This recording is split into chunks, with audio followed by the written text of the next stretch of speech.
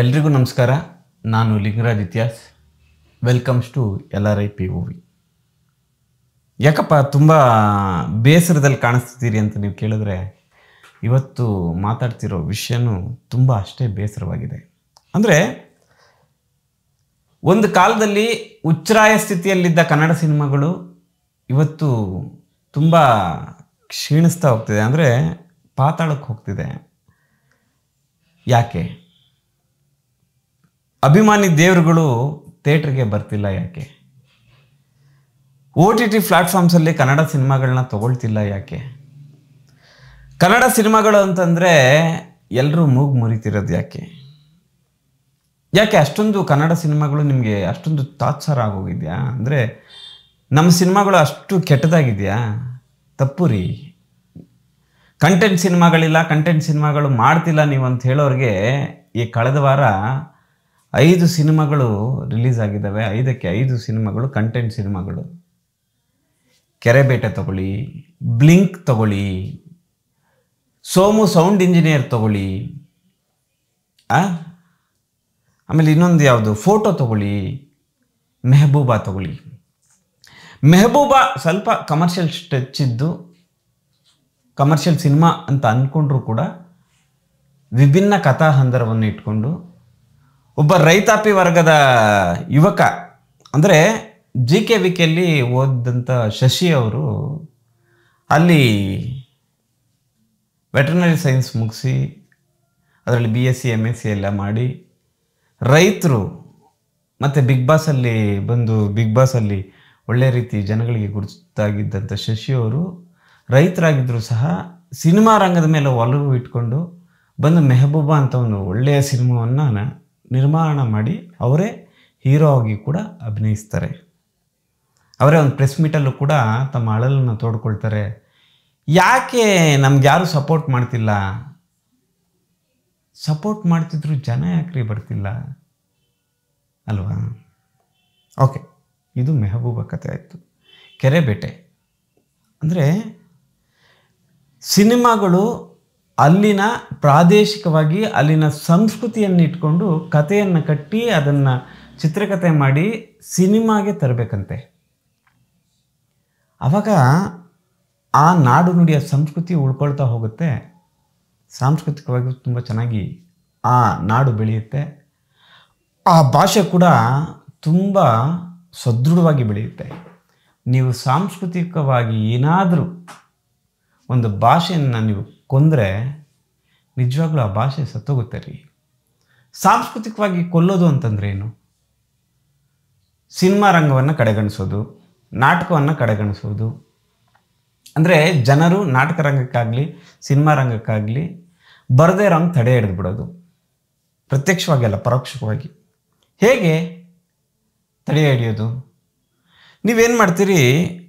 ಒಂದು ರಂಗಮಂದಿರದ, ಅಂದರೆ ಒಂದು ಎಕ್ಸಾಂಪಲ್ಸ್ ಹೇಳ್ತಾ ಹೋಗ್ತೀನಿ ನೀವು. ನಿಮಗೂ ಇದರ ಬಗ್ಗೆ ಮಾಹಿತಿ ಇದ್ದರೆ ದಯವಿಟ್ಟು ನನ್ನ ಜೊತೆ ಕಮೆಂಟಲ್ಲಿ ಚರ್ಚೆ ಮಾಡಿ. ಒಂದು ರಂಗಮಂದಿರದ ಬೆಲೆ, ಅಂದರೆ ಒಂದು ರಂಗ ತಂಡಗಳು ಏನು ಮಾಡುತ್ತೆ? ಅವರೇ ಅವರೇ ಹವ್ಯಾಸಿ ರಂಗಭೂಮಿಯನ್ನು ಕಟ್ಕೊಂಡು, ಅಂದರೆ ಹವ್ಯಾಸಿಗರಾಗಿ ನಾಟಕವನ್ನು ಮಾಡ್ತಾ ಒಂದು ರಂಗಭೂಮಿಗೆ ಒಂದು ನಿರ್ದಿಷ್ಟ, ಅಂದರೆ ಕನಿಷ್ಠ ಶುಲ್ಕವನ್ನು ಇಟ್ಟಾಗ ಅವ್ರ ಕೈಲಿ ಬರ್ಸೋಕ್ಕೆ ಶಕ್ತಿ ಇರುತ್ತೆ. ನೀವೇನು ಮಾಡ್ತೀರಿ? ಆ ರಂಗಮಂದಿರವನ್ನು ಕಮರ್ಷಿಯಲ್ ಮಾಡ್ತೀರಿ. ಕಮರ್ಷಿಯಲ್ ಮಾಡಿ ಒಂದು ಉದಾಹರಣೆಗೆ ಒಂದು ಐದು ಸಾವಿರ ರೂಪಾಯಿ ಅದಕ್ಕೆ ಬಾಡಿಗೆ ಇದ್ದರೆ ಏನು ಮಾಡ್ತೀರಿ? ಇದ್ದಕ್ಕಿದ್ದ ಹಾಗೆ ಇಪ್ಪತ್ತು ಸಾವಿರ ಮಾಡೋದು. ಹಾಗೆ ಏನು ಮಾಡ್ತಾರೆ? ರಂಗತಂಡಗಳು ಹೇಗೆ ನಾಟಕವನ್ನು ಕಟ್ಟಿ ಮೂವತ್ತು ದಿವಸ ಅದಕ್ಕೆ ಅಭ್ಯಾಸವನ್ನು ಮಾಡಿ, ಆ ನಾಟಕವನ್ನು ರಂಗಮಂದಿರಕ್ಕೆ ತರೋದಕ್ಕೆ ಅವ್ರ ಕೈಯಲ್ಲಿ ಶಕ್ತಿ ಇರಲ್ಲ ರೀ. ಯಾಕಂದರೆ ಟಿಕೆಟ್ ರೇಟನ್ನು ಜಾಸ್ತಿ ಇಟ್ಟರೆ ಜನ ಬರಲ್ಲ. ದಿನನಿತ್ಯ ದುಡಿದು, ಮನೆಯಲ್ಲಿ ದುಡಿದು ಅಷ್ಟು ಜನ ಕುಟುಂಬ ಸಮೇತ ಒಂದು ನಾಟಕ ಬಂದು ನೋಡಲಿಕ್ಕಾಗಲ್ಲ. ಏನಾಗುತ್ತೆ? ಈ ತಂಡದ ನಾಟಕವನ್ನು ಮತ್ತಾವುದೋ ತಂಡ, ಆ ತಂಡದ ನಾಟಕವನ್ನು ಈ ತಂಡ ಹೀಗೆ ನೋಡ್ತಾ ಹೋಗ್ಬೇಕಾಗತ್ತೆ. ಅದು ಇನ್ನೊಂದು ಕಡೆ. ನೀವು ಕೆರೆಬೇಟೆ ಸಿನಿಮಾ ಅಂದರೆ ಅತ್ಯದ್ಭುತವಾಗಿ ಮೂಡಿಬಂದಿದೆ ಅಂದರೆ ಆ ಬೇಸಿಗೆ ಕಾಲದಲ್ಲಿ ಆ ಕೆರೆಯ ಮೀನುಗಳನ್ನು ಹಿಡಿಯುವಂಥ ಆಟದ ಜೊತೆ ಸಂಸ್ಕೃತಿ. ಎಷ್ಟು ಚೆನ್ನಾಗಿ ಕಟ್ಕೊಟ್ಟಿದ್ದಾರೆ ನಿರ್ದೇಶಕರು, ರಾಜ್ಗುರು ಅವರು. ಖುಷಿಯಾಗುತ್ತೆ ಅಂದರೆ ಕಂಟೆಂಟ್ ಸಿನಿಮಾಗಳು ಬೇರೆ ಭಾಷೆಯಲ್ಲಿ ಬಂದರೆ ನಮ್ಮವರು ಬಾಯಿ ಬಿಟ್ಕೊಂಡು ನೋಡ್ತಾರೆ. ನಮ್ಮ ಭಾಷೆಯಲ್ಲಿ ಬಂದರೆ ಮೂಗು ಮರಿತೀರಿ. ನಾನು ನಿಮ್ಮನ್ನ ಬೈತಾ ಇಲ್ಲ. ಯಾಕೆ ಬರ್ತಿಲ್ಲ ಅಂತ ಒಂದು ಪ್ರಶ್ನೆ ಮಾಡ್ತಾ ಇದ್ದೀನಿ. ಓಕೆ ಬ್ಲಿಂಕ್ ಸೂಪರ್ ಸೂಪರಾಗಿ ಒಂದು ಥ್ರಿಲ್ಲರ್, ಸಸ್ಪೆನ್ಸ್ ಥ್ರಿಲ್ಲರ್ ಸಿನಿಮಾ. ತುಂಬ ಚೆನ್ನಾಗಿದೆ ಸಿನಿಮಾ. ಜನ ಇಲ್ಲ. ಫೋಟೋ. ನೀವು ಬೇರೆ ಭಾಷೆಯಲ್ಲಿ ಸಿನಿಮಾಗಳನ್ನ ಬಂದರೆ ಇದೇ ಥರದ್ದು ಅಂದರೆ ಈ ಫೋಟೋ ಯಾವ ಥರ ಸಿನಿಮಾ ಅಂತಲೇ ನೀವು ತಿಥಿ ಅಂತ ಒಂದು ಸಿನಿಮಾ ನೋಡಿರ್ಬೋದು. ಓಕೆ? ಆಮೇಲೆ ತೆಲುಗಲ್ಲೂ ಕೂಡ ಯಾವುದೋ ಒಂದು ಸಿನಿಮಾ ಬಂತು, ಇದೇ ಥರದೊಂದು ಸಿನಿಮಾ ಬಂತು. ಅದನ್ನು ಓ ಟಿ ಟಿಯವರು ತೊಗೊಂಡ್ರು, ಚೆನ್ನಾಗಿ ಓಡ್ತು. ಆದರೆ ಈ ಸಿನಿಮಾಗಳನ್ನ ಓ ಟಿ ಟಿಯವರು ಮೂಸೋದಿಲ್ಲ. ಈ ಸಿನಿಮಾ ಅಂತಲ್ಲ, ಕನ್ನಡ ಸಿನಿಮಾಗಳನ್ನೇ ತೊಗೊಳ್ತಿಲ್ಲ. ಅದರಲ್ಲೂ ಕೆಲವೊಂದು ಪ್ಲಾಟ್ಫಾರ್ಮ್ಸ್ಗಳಿದೆಯಲ್ಲ, ನಾನು ಹೆಸರು ಹೇಳೋಕ್ಕೆ ಇಷ್ಟಪಡಲ್ಲ. ಅವುಗಳನ್ನು ಸ್ವತಃ ಕನ್ನಡಿಗರೇ ಬ್ಯಾನ್ ಮಾಡಬೇಕು. ಅಂದರೆ ಆಪ್ಷನ್ ಆಗಿ ಕನ್ನಡ ಇಲ್ವಲ್ಲ ಅಂಥೇಳಿ ನೀವು ಅದನ್ನು ತಿರಸ್ಕಾರ ಮಾಡಿ, ಆಗ ಅವ್ರಿಗೆ ಬುದ್ಧಿ ಬರುತ್ತೆ. ಏನ್ರಿ? ಇಡೀ ಕರ್ನಾಟಕದಲ್ಲಿ, ಅದು ಬೆಂಗಳೂರಲ್ಲಿ ಆ ಒ ಟಿ ಟಿ ಪ್ಲಾಟ್ಫಾರ್ಮ್ಸ್ನ ನೋಡೋವಂಥ ಶೇಕಡವಾರು ಜಾಸ್ತಿ ಇದ್ರೂ ಕನ್ನಡ ಸಿನಿಮಾಗಳನ್ನ ತೊಗೊಳ್ತಿಲ್ಲ. ಕನ್ನಡದಕ್ಕೆ ಒಂದು ಆಪ್ಷನ್ ಇಲ್ಲ ರೀ. ಕನ್ನಡ ಸಿನಿಮಾಗಳನ್ನದೇ ಇಲ್ಲ ಅಂತಂದರೆ ಕನ್ನಡಿಗನಾಗಿ ಒಂದು ಕೋಪ ಬರುತ್ತೆ ಇಲ್ವೋ? ಓಕೆ ಫೋಟೋ ಆಯಿತು. ಸೋಮು ಸೌಂಡ್ ಇಂಜಿನಿಯರ್ ಅದರಲ್ಲಿ ಆ್ಯಕ್ಟ್ ಮಾಡಿರೋ ನಾಯಕ ನಟ ಈ ಹಿಂದೆ ದುನಿಯಾ ವಿಜಯ್ ಅವರ ಜೊತೆ ಒಂದು ಸಿನಿಮಾದಲ್ಲಿ ಆ್ಯಕ್ಟ್ ಮಾಡ್ತಾರೆ. ನೋಡಿ, ಅವರು ಸೂರ್ಯವರ ಗರಡಿಯಲ್ಲಿ ಪಳಗಿ ಬಂದ ಒಬ್ಬ ನಿರ್ದೇಶಕ. ಅವರು ಮನಸ್ಸು ಮಾಡಿದರೆ ಕಮರ್ಷಿಯಲ್ ಸಿನಿಮಾಗಳನ್ನ ಮಾಡ್ತಾ ಹೋಗ್ಬೋದಿತ್ತು. ಆದರೆ ಅವರು ಸಹ ಉತ್ತರ ಕರ್ನಾಟಕದ ಆ ಪ್ರಾದೇಶಿಕವಾಗಿ ಹೇಗಿರುತ್ತೆ ಸಂಬಂಧಗಳು ಅನ್ನೋದನ್ನ ತುಂಬ ಚೆನ್ನಾಗಿ ಕಟ್ಕೊಟ್ಟಿದ್ದಾರೆ ಜನ ಇಲ್ಲ. ಈ ಥರದ್ದೇ ಆಗ್ತಾ ಹೋದರೆ ಮುಂದಕ್ಕೆ ಹೇಗೋ ಗೊತ್ತಿಲ್ಲ ಸರಿ, ಇದನ್ನೆಲ್ಲ ಸರಿಪಡಿಸೋದು ಹೇಗೆ? ಒಂದು ನನಗನ್ಸಿದ್ದು ನಾನು ಹೇಳ್ತೀನಿ ನಿಮ್ಗನ್ಸಿದ್ದನ್ನ ನೀವು ಹೇಳಿ. ಇಲ್ಲಿ ದೊಡ್ಡ ದೊಡ್ಡ ನಟರು ಅಂತ ಏನು ಅನ್ಸ್ಕೊಂಡಿದ್ದಾರೆ, ಅವರು ಸಿನಿಮಾಗಳನ್ನು ಮಾಡದೇ ಇರೋವಂಥದ್ದು. ಅಂದರೆ ಮಾಡಿದ್ರೂ ವರ್ಷಕ್ಕೆ ಒಂದು ಸಿನಿಮಾ ಮಾಡೋದು, ಎರಡು ವರ್ಷಕ್ಕೆ ಒಂದು ಸಿನಿಮಾ ಮಾಡೋದು. ಹಾಗೆ ನಿಂತೋದ್ರೆ ಪ್ರೇಕ್ಷಕರು ನಿರಾಸೆ ಆಗ್ತಿದ್ದಾರೆ. ಅಂದರೆ ಯಾರು ದೊಡ್ಡ ನಟರು ಅಂತ ಅನ್ಸ್ಕೊಂಡಿದ್ದೀರಿ? ಅಂದರೆ ಜನಗಳು ನಿಮ್ಮನ್ನು, ನನ್ನ ಹೀರೋ, ನಿಮ್ಮ ಅಭಿಮಾನಿ ಅಂತ ಅನ್ಸ್ಕೊಂಡಿದ್ದಾರೆ. ಅಂದರೆ ನನ್ನ ಹೀರೋ ರೀ ಅವರು. ನಾನು ಅವ್ರ ಫ್ಯಾನು, ಇವ್ರ ಫ್ಯಾನ್ ಅಂತ ಯಾರು ಅನ್ಸ್ಕೊಳ್ತಾ ಇದ್ದೀರೋ, ದಯವಿಟ್ಟು ನೀವು ವರ್ಷಕ್ಕೆ ಎರಡು ಸಿನಿಮಾಗಳನ್ನ ಮಾಡಿ. ಆ ವರ್ಷಕ್ಕೆ ಎರಡು ಸಿನಿಮಾಗಳನ್ನ ಮಾಡಿದಾಗ ಇಲ್ಲಿನ ಪ್ರೇಕ್ಷಕರಿಗೆ ಖುಷಿಯಾಗುತ್ತೆ ಅಂದರೆ ದೊಡ್ಡ ದೊಡ್ಡ ಸ್ಟಾರ್ ನಟರುಗಳನ್ನು ಟಿ ವಿಯಲ್ಲಿ ನೋಡಲಿಕ್ಕೆ ನಮ್ಮ ಜನ ಇಷ್ಟಪಡಲ್ಲ. ಯಾಕೆ ಇಷ್ಟಪಡಲ್ಲ ಅಂತಂದರೆ ನನ್ನ ಹೀರೋವನ್ನು ನಾನು ದೊಡ್ಡ ಪರದೆ ಮೇಲೆ ನೋಡಿ ವಿಜಿಲ್ ಹೊಡಿತಾ, ಅಲ್ಲಿ ಎಂಜಾಯ್ ಮಾಡ್ತಾ ನೋಡಬೇಕು ಅಂತ ಇಷ್ಟಪಡ್ತಾನೆ. ಅದರಿಂದ ದಯವಿಟ್ಟು ಎಲ್ಲ ದೊಡ್ಡ ನಟರಲ್ಲಿ ಒಂದು ವಿನಂತಿ, ವರ್ಷಕ್ಕೆ ಎರಡು ಸಿನಿಮಾಗಳನ್ನ ಮಾಡಿ. ಹೂವಿನ ಜೊತೆ ನಾರು ಸ್ವರ್ಗ ಸೇರಿತು ಅಂತಾರಲ್ಲ, ಆ ರೀತಿ ದೊಡ್ಡ ನಟರ ಸಿನಿಮಾಗಳ ಜೊತೆಗೆ ಈ ಸಣ್ಣ ಸಣ್ಣ ಸಿನಿಮಾಗಳು ಬಿಡುಗಡೆ ಆದಾಗ ಅದಕ್ಕೆ ಟಿಕೆಟ್ ಸಿಗದೇ ಇದ್ದ ಸಮಯದಲ್ಲಿ ಈ ಸಿನಿಮಾಗಳಿಗೆ ಹೋಗುವಂಥ ಅವಕಾಶಗಳು ಹೆಚ್ಚಿರುತ್ತೆ. ಹೋಗಿ, ಹೋದಾಗ ಏನಾಗುತ್ತೆ? ನೀವು ಎಷ್ಟೇ ಪ್ರಚಾರ ಮಾಡಿದರೂ, ಎಷ್ಟೇ ಪಬ್ಲಿಸಿಟಿ ಮಾಡಿದರೂ, ಮೌತ್ ಪಬ್ಲಿಸಿಟಿ ಅಂತ ಒಂದಿರುತ್ತೆ. ಈ ಈ ಸಿನಿಮಾ ಬಗ್ಗೆ, ಅಂದರೆ ಈ ಚಿಕ್ಕ ಸಿನಿಮಾ ಬಗ್ಗೆ ಹೊರಗಡೆ ಬರ್ತಾ ಪ್ರೇಕ್ ಪ್ರೇಕ್ಷಕ ಮಾತಾಡ್ತಾನೆ. ರೀ, ನಾನು ಆ ದೊಡ್ಡ ಸಿನಿಮಾ ನನ್ನ ನಟನ ಸಿನಿಮಾ ನೋಡೋಕೆ ಹೋದೆ. ಅಲ್ಲಿ ನನಗೆ ಟಿಕೆಟ್ ಸಿಗಲಿಲ್ಲ. ಬ್ಲ್ಯಾಕಲ್ಲಿ ಕೂಡ ನನಗೆ ಸಿಗಲಿಲ್ಲ. ನಾನು ನಾಳೆ ನೋಡ್ತೀನಿ ಅಂತ ಡಿಸೈಡ್ ಮಾಡಿ ಹೊರಡ್ತಾ ಬರ್ತಾ ಇದ್ದಾಗ ಇಲ್ಲಿ ಈ ಸಿನಿಮಾಗೆ ಜನ ಇರಲಿಲ್ಲ. ಟಿಕೆಟ್ ಸಿಕ್ತು. ಹೋಗಿ ನೋಡಿದೆ, ತುಂಬ ಅತ್ಯದ್ಭುತವಾದ ಸಿನಿಮಾ ರೀ ಅಂತ ಮಾತಾಡ್ಲಿಕ್ಕೆ ಶುರು ಮಾಡ್ತಾನೆ. ಅವನೆಲ್ಲೋ ಟೀ ಕುಡಿತಾನೋ, ಅಥವಾ ಎಲ್ಲೋ ಒಂದು ಹೋಟ್ಲಲ್ಲಿ ಊಟ ಮಾಡ್ತಾನೋ, ಇಲ್ಲ ಬಸ್ಸಲ್ಲಿ ಟ್ರಾವೆಲ್ ಮಾಡ್ತಾನೋ, ತನ್ನ ಸಹ ಪ್ರಯಾಣಿಕನ ಜೊತೆ ಮಾತಾಡ್ತಾ ಹೋಗ್ತಾನೆ. ಅಂದರೆ ತನಗೆ ಗುರುತಿಲ್ಲದವನ ಜೊತೆಗೆ ಮಾತಾಡ್ತಾ ಹೋಗ್ತಾನೆ. ಅವಾಗ ಏನಾಗುತ್ತೆ ಅವನಲ್ಲೂ ಕೂಡ, ಓ, ಈ ಸಿನಿಮಾ ಚೆನ್ನಾಗಿದೆ ಅಂಥೇಳಿ ಅಂದರೆ ಸಣ್ಣ ಸಿನಿಮಾಗಳು ಚೆನ್ನಾಗಿದೆ ಅಂಥೇಳಿ ಅವನಿಗೂ ಆಸೆ ಆಗುತ್ತೆ. ದೊಡ್ಡ ಸಿನಿಮಾಗಳು ಜೊತೆಗೆ ಈ ಸಿನಿಮಾಗಳು ಓಡ್ತಾ ಹೋಗ್ತವೆ. ಓಕೆ, ಇದೊಂದಾದರೆ ಇನ್ನೊಂದು ದೊಡ್ಡ ದೊಡ್ಡ ನಟರು ತಾನಾಯ್ತು, ತನ್ನದಾಯ್ತು ಅಂತ ಇದು ಬಿಡ್ತಾರೆ. ನಿಮ್ಗೊಂದು ಸಣ್ಣ ಕತೆ ಹೇಳ್ತಾ ಎಕ್ಸಾಂಪಲ್ ಕೊಡ್ತೀನಿ. ನೋಡಿ, ಒಂದು ಬಾವಿಯಲ್ಲಿ ಇದು ನಾನು ಕೇಳಿದ್ದು, ನೋಡಿದ್ದು. ಒಂದು ಬಾವಿಯಲ್ಲಿ ಎರಡು ಕೋತಿಗಳು ಬಿದ್ದೋಗ್ತವೆ. ಎರಡು ತುಂಬ ಜೀವಕ್ಕೆ ಜೀವ ಕೊಡುವಂಥ ಸ್ನೇಹಿತರು. ಸ್ನೇಹಿತ ಕೋತಿಗಳು ಬಿದ್ದೋಗ್ತವೆ. ಆ ಬಾವಿಯಲ್ಲಿ ನೀರಿರಲ್ಲ. ಅವಕ್ಕೆ ಮೇಲೆ ಬರೋದಕ್ಕೆ ದಾರಿ ಇರಲ್ಲ.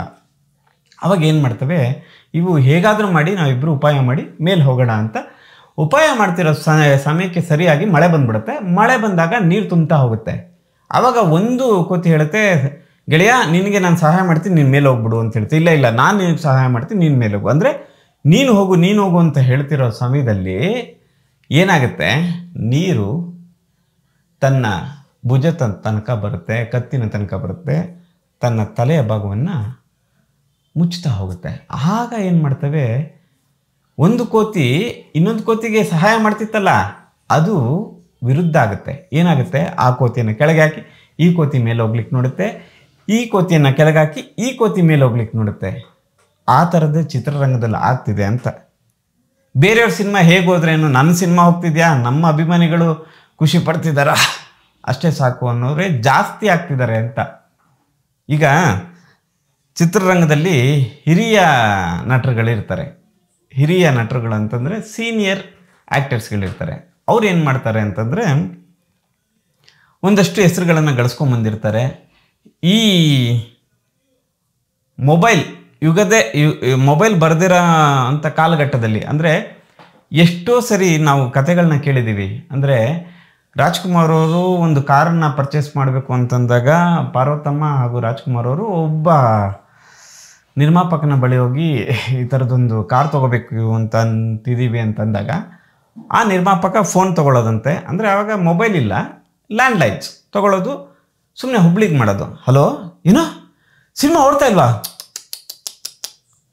ಆಮೇಲೆ ಇನ್ನೊಂದು ಕಡೆ ಮಾಡೋದಂತೆ. ಮೈಸೂರಿಗೆ ಮಾಡೋದು. ಹಾಂ? ಏನು? ಸಿನಿಮಾ ಚೆನ್ನಾಗಿಲ್ಲ ಅಂತ ಪರದೆ ಅರ್ಧ ಹಾಕ್ಬಿಟ್ರಾ? ನೋಡಿ, ಈ ಥರ ಸಿನಿಮಾ ಹೋಗ್ತಿದೆ. ದುಡ್ಡೇ ಬಂದಿಲ್ಲ ಅಂತ ಹೇಳಿದ್ರಂತೆ. ಆಗ ನಿಜ ಏನಾಗಿತ್ತು ಅಂತಂದರೆ ಇವರು ಅದೇ ಊರಿಗೆ ಹೋಗ್ತಿದ್ದಾಗ ಹೌಸ್ಫುಲ್ಲಾಗಿ ಕೊಡ್ತಿತ್ತಂತೆ ಆ ಸಿನಿಮಾ. ಆ ಸಿನಿಮಾ ಯಾವುದು, ಏನು ಅಂತ ಕೆಲವ್ರಿಗೆ ಗೊತ್ತಿರುತ್ತೆ ನಾನು ಹೇಳಿದ ಕತೆ. ಆಗ ಪಾರ್ವತಮ್ಮ ಮತ್ತು ರಾಜ್ಕುಮಾರ್ ಅವರು ಒಂದು ನಿರ್ಧಾರವನ್ನು ತಗೊಳ್ತಾರೆ. ಏನು ನಿರ್ಧಾರವನ್ನು ತಗೊಳ್ತಾರೆ ಅಂತಂದರೆ, ನಮ್ಮ ಸಿನಿಮಾವನ್ನು ನಾವೇ ನಿರ್ಮಾಣ ಮಾಡ್ತೀವಿ ಅಂತ ತಗೊಂಡು ಎಂತೆಂಥ ಒಳ್ಳೆ ಸಿನಿಮಾಗಳನ್ನು ನಿರ್ಮಾಣ ಮಾಡಿ ಇದ ಸಂಸ್ಥೆ ನಿಮಗೆ ಗೊತ್ತಿದೆ. ಅಲ್ವಾ? ಈಗ ಅದೊಂದು ಪಕ್ಕಕ್ಕಿರಲಿ. ಈಗ ನಿಮಗೆ ಎಲ್ಲಿ ಯಾವ ರೀತಿ ಓಡ್ತಿದೆ? ಎಲ್ಲಿ ಹೌಸ್ಫುಲ್ಲಾಗಿ ಓಡ್ತಿದೆ ಎಷ್ಟು ಚೆನ್ನಾಗಿ ಓಡ್ತಿದೆ ಅನ್ನೋದು ಎಲ್ಲರಿಗೂ. ಅಂದರೆ ಬರೀ ಆ ಚಿತ್ರವನ್ನು ನಿರ್ಮಾಣ ಮಾಡಿದವ್ರಿಗೆ ಮತ್ತು ಚಿತ್ರರಂಗದವರಿಗೆ ಮಾತ್ರವಲ್ಲದೆ ಸಾರ್ವಜನಿಕರಿಗೂ ಕೂಡ ಗೊತ್ತಿದೆ. ಅಂಗೈಯಲ್ಲೇ ನಿಮ್ಮ ಎಲ್ಲ ಲೆಕ್ಕಗಳು ಗೊತ್ತಿದೆ. ಹಾಗಿದ್ರೂ ಕೂಡ ಏನಾಗ್ತಿದೆ ಅಂತಂದರೆ ಸಿನಿಮಾಗಳು ಓಡದೇ ಇರೋದು ಕಾರಣ ಏನು? ನೋಡಿ, ಸರ್ಕಾರಕ್ಕೂ ಒಂದು ಮನವಿ ಮಾಡ್ಕೊಳ್ತೀವಿ. ಜನಗಳಿಗೆ ಸಿನಿಮಾ ರಂಗಕ್ಕೆ, ಅಂದರೆ ಸಿನಿಮಾ ಮಂದಿರಕ್ಕೆ ಬರುವಂಥ ವಾತಾವರಣವನ್ನು ಹೇಗೆ ಸೃಷ್ಟಿ ಮಾಡೋದು ಅನ್ನೋದನ್ನ ಸರ್ಕಾರದವರು ಒಂಚೂರು ಅದ್ರ ಬಗ್ಗೆ ಕಾಳಜಿ ತಗೊಳ್ಳಿ. ಏ, ಸಿನಿಮಾ ರಂಗ, ನಾನು ಯಾಕೆ ಅದನ್ನು ಮಾಡಬೇಕು? ನನಗೆ ನಮ್ಮ ಸರ್ಕಾರ ಚೆನ್ನಾಗಿ ನಡೆದ್ರೆ ಸಾಕು ಅಂತ ಅನ್ಕೋಬೇಡಿ. ಸಿನಿಮಾ ರಂಗ ಏನಾದರೂ ಇಲ್ಲದೆ ಹೋದರೆ, ಅಂದರೆ ಸಾಂಸ್ಕೃತಿಕವಾಗಿ ಈ ಕಲೆಗಳು ಇಲ್ಲದೆ ಹೋದರೆ ಭಾಷೆ ಬೇಗ ಸತ್ತೋಗುತ್ತೆ. ಹೇಗೆ ಅಂತೀರಾ? ಈಗ ನೋಡಿ, ಒಂದು ಜೇನುಹುಳ ಇರುತ್ತೆ. ಜೇನುಹುಳ ಗೊತ್ತಲ್ವ ನಿಮಗೆ? ಪರಾಗಸ್ಪರ್ಶಕ್ಕೆ ತುಂಬ ಸಹಾಯ ಮಾಡುವಂಥ ಒಂದು ದುಂಬಿ. ಅದು ಒಂದು ಹೂ ಮೇಲೆ ಕೂತ್ಕೊಂಡು ಇನ್ನೊಂದು ಹೂಗೆ ಹೋಗಿ ಅಲ್ಲೂ ಜೇನು ಇರ್ತಾ ಏನು ಮಾಡುತ್ತೆ? ಪರಾಗಸ್ಪರ್ಶ ಮಾಡಿ ಇಡೀ ಭೂಮಂಡಲದಲ್ಲಿ ಸಸ್ಯ ಬೆಳಿಲಿಕ್ಕೆ ಸಹಾಯ ಮಾಡುತ್ತೆ. ಆದರೆ ಈ ಜೇನುನೊಣ ಏನಾದರೂ ಭೂಮಿಯಲ್ಲಿ ನಾಶಿಸಿ ಹೋದರೆ ಇನ್ನೊಂದು ಐವತ್ತು ವರ್ಷದಲ್ಲಿ ಭೂಮಿ ಹಾಳಾಗುತ್ತೆ. ಅಂದರೆ ನಾಶ ಆಗೋಗುತ್ತೆ. ನಂಬ್ತಿಲ್ವಲ್ಲ? ಬೇಕಾದ್ರೆ ಗೂಗಲ್ ಮಾಡಿ ನೋಡಿ. ಅದೇ ಥರನೇ ಸಾಂಸ್ಕೃತಿಕವಾಗಿ ಭಾಷೆ ಸದೃಢವಾಗಿರಬೇಕು. ವ್ಯಾವಹಾರಿಕವಾಗಿ ಭಾಷೆ ಸದೃಢವಾಗಿರಬೇಕು. ಆಡಳಿತವಾಗಿ ಭಾಷೆ ಸದೃಢವಾಗಿರಬೇಕು. ಸಾಹಿತ್ಯಿಕವಾಗಿ ಭಾಷೆ ಸದೃಢವಾಗಿರಬೇಕು. ಈ ನಾಲ್ಕು ಪ್ರಕಾರಗಳಲ್ಲಿ ಭಾಷೆ ಸದೃಢವಾಗಿ ಇಲ್ಲದೇ ಇದ್ದರೆ ನಮ್ಮ ನಾಲ್ಕು ಅಂಗ ಅಂತ ಅಂದ್ಕೊಳ್ರಿ ನಮ್ಮ ದೇಹದ ಪ್ರಮುಖ ಅಂಗಗಳು ಅಂತ ಅಂದ್ಕೊಳ್ಳಿ ಒಂದಿಲ್ಲ ಅಂತಂದರೆ ಹಾಗೆ ನಿಧಾನಕ್ಕೆ ಭಾಷೆ ಸತ್ತೋಗ್ತಾ ಹೋಗುತ್ತೆ. ದಯವಿಟ್ಟು ಹೇಳ್ತೀನಿ, ಇದಕ್ಕೆ ಸಂಬಂಧಪಟ್ಟಂಥ ವ್ಯಕ್ತಿಗಳು, ಅಂದರೆ ಚಿತ್ರರಂಗದ ಗಣ್ಯರುಗಳಾಗ್ಬೋದು, ಅಥವಾ ಚಿತ್ರರಂಗಕ್ಕೆ ಸಂಬಂಧಪಟ್ಟಂಥ ಆಡಳಿತ ಕಚೇರಿಗಳಾಗ್ಬೋದು, ಸಂಘಗಳಾಗ್ಬೋದು, ಸಂಸ್ಥೆಗಳಾಗ್ಬೋದು, ಇದ್ರ ಬಗ್ಗೆ ಸ್ವಲ್ಪ ವಿಚಾರ ತಗೊಳ್ಳಿ. ಸಿನಿಮಾವನ್ನು ಮಾಡಲು ಆಸಕ್ತಿ ಇರುವಂಥ ವ್ಯಕ್ತಿಗಳು ಸಿನಿಮಾ ಮಾಡ್ತಾರೆ. ಪ್ರಚಾರವನ್ನು ಪ್ರಚಾರ ತಂಡಗಳು ಮಾಡಿಕೊಡ್ತವೆ. ಮಾರುಕಟ್ಟೆಯಲ್ಲಿ ಮಾರೋದು ಹೇಗೆ ಅನ್ನೋ ಜ್ಞಾನವ ಸ್ವಲ್ಪ ಕಡಿಮೆ ಇದೆ ಅಂತ ಅನ್ನಿಸ್ತಿದೆ ಚಿತ್ರರಂಗದಲ್ಲಿ. ಈಗ ಒಬ್ಬ ರೈತ ಬೆಳೆ ಬೆಳಿತಾನೆ. ಆ ಬೆಳೆ ಮಾರುಕಟ್ಟೆಯಲ್ಲಿ ತಂದು ಮಾರಿದ್ರೆ ತಾನೆ ಅವನಿಗೆ ಮುಂದಿನ ಸಲ ಬೆಳೆಯನ್ನು ಬೆಳಿಲಿಕ್ಕೆ ಆಸಕ್ತಿ ಬರೋದು. ಅಂದರೆ ತನ್ನ ಹೊಲದಲ್ಲಿ. ಅಲ್ವಾ? ಮಾರುಕಟ್ಟೆಯ ಜ್ಞಾನವೇ ಇಲ್ಲ ಅಂತಂದರೆ ಎಲ್ಲಿ ಮಾರೋದು ಅಂತ ಗೊತ್ತೇ ಇಲ್ದಿರೋ ಜ್ಞಾನ ಅವನಲ್ಲಿ ಜ್ಞಾನನೇ ಇಲ್ಲ ಅಂತಂದರೆ ಹೇಗೆ ಅವನು ಬೆಳಿತಾನೆ? ಅದೇ ರೀತಿಯೇ ತಾನು ಮಾಡಿದ ಸಿನಿಮಾವನ್ನು ಮಾರುಕಟ್ಟೆಯಲ್ಲಿ ಮಾರಲಿಕ್ಕೆ ಮಾರಲಿಕ್ಕೆ ಆಪ್ಷನ್ಸ್ಗಳೇ ಇಲ್ಲದೆ ಮೇಲೆ ಒಬ್ಬ ನಿರ್ಮಾಪಕ ಮತ್ತೆ ಹೇಗೆ ಸಿನಿಮಾ ಮಾಡ್ತಾನ್ರಿ? ಕಷ್ಟ ಅಲ್ವಾ? ದಯವಿಟ್ಟು ಹೇಳ್ತೀನಿ. ಸಿನಿಮಾ ರಂಗದಲ್ಲಿ ನಿಮಗೆ ಒಂದು ಹೇಳ್ತೀನಿ ಕೇಳಿ. ಸಿನಿಮಾ ರಂಗ ಅಂತ ಹೇಳಲ್ಲ. ಸಿನಿಮಾ ಲೆವೆಲ್ಗೆ ಸೀರಿಯಲ್ಗಳನ್ನು ಮಾಡಿದಂಥ ನೆಲ ನಮ್ಮದು ಅಂದರೆ ಗುಡ್ಡದ ಭೂತ ಆಗ್ಬೋದು, ನಾಲ್ಕು ತಂತಿ ಆಗ್ಬೋದು ಎಂತೆಂಥ ಧಾರಾವಾಹಿಗಳನ್ನ ನಾವಿಲ್ಲಿ ಮಾಡಿದ್ದೀವಿ ಗೊತ್ತಾ? ಅಂದರೆ ಕಮರ್ಷಿಯಲ್ ಫಾರ್ಮೆಟ್ಟೇ ಇಲ್ಲದೆ ಜನಗಳಲ್ಲಿ ಉತ್ಸುಕತೆ ಬರೋ ಹಾಗೆ, ಅಂದರೆ ಜೀವನದಲ್ಲಿ ಜಿಗುಪ್ಸೆ ಯಾರ್ಯಾರು ಮಾಡಿದ್ದಾರೆ, ಅವ್ರನ್ನ ಬಡಿದೆಪ್ಪಿಸುವಂಥ ಕೆಲಸ ಮಾಡಿದ್ದು ಧಾರಾವಾಹಿಗಳು, ಇಲ್ಲಿನ ಸಿನಿಮಾಗಳು ನಿಮಗೆ ಬಂಗಾರದ ಮನುಷ್ಯ ಸಾಕು ಒಂದು ಉದಾಹರಣೆಗೆ.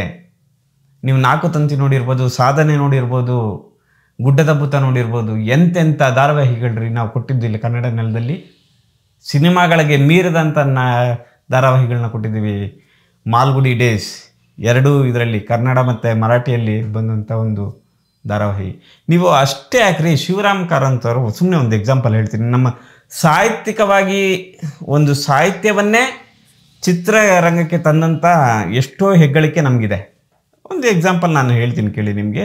ಚಿಗುರಿದ ಕನಸು ಶಿವರಾಮ್ ಕಾರಂತರು ಬರೆದಂಥ ಚಿಗುರಿದ ಕನಸು ನಾಗಾಭರಣ ಅವರು ಚಿತ್ರರಂಗಕ್ಕೆ ಎಷ್ಟು ಸೊಗಸಾಗಿ ತಂದರು. ಅಂದರೆ ಪುಸ್ತಕವನ್ನು ಮಾತ್ರ ಓದ್, ಓದ್ತಾ ಇದ್ದಂಥ ಪುಸ್ತಕ ಪ್ರೇಮಿಗಳಿಗಲ್ಲದೆ ದೃಶ್ಯ ಮಾಧ್ಯಮವಾಗಿ ಚಿಗುರಿದ ಕನಸು ತಂದರು.